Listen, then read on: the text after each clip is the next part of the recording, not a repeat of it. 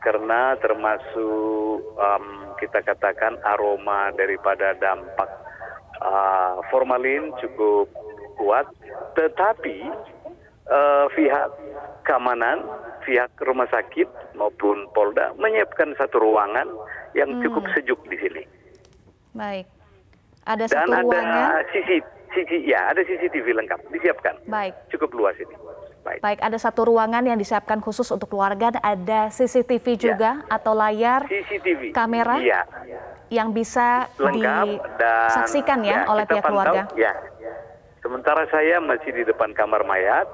Begitu ada instruksi nanti untuk dimulai, kita akan pindah ke ruangan itu dan fasilitas lengkap punya AC. Um, tidak ada yang kurang sampai saat ini. Baik. Artinya keluarga dan tim kuasa hukum di ruangan yang sama ya, Ada. bukan di ruang ada. atau kamar mayat.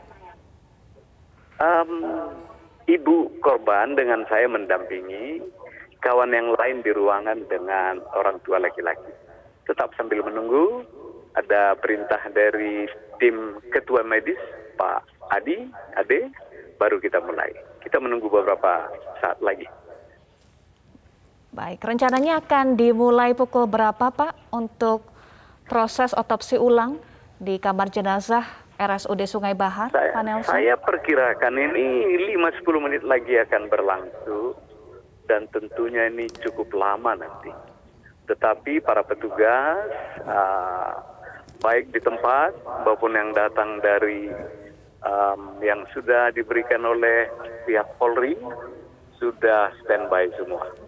Hmm, Anda sampaikan prosesnya diperkirakan cukup lama. Apakah ada pernyataan dari tim forensik membutuhkan waktu berapa lama untuk proses otopsi ulang ini, Pak Nelson?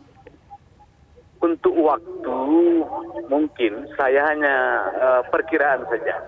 Karena baik dari keluarga maupun kuasa hukum tadi malam kita minta detail apa-apa saja nanti yang harus dikoreksi, yang harus diteliti, yang harus apa saja sayatan mayat dan sebagainya.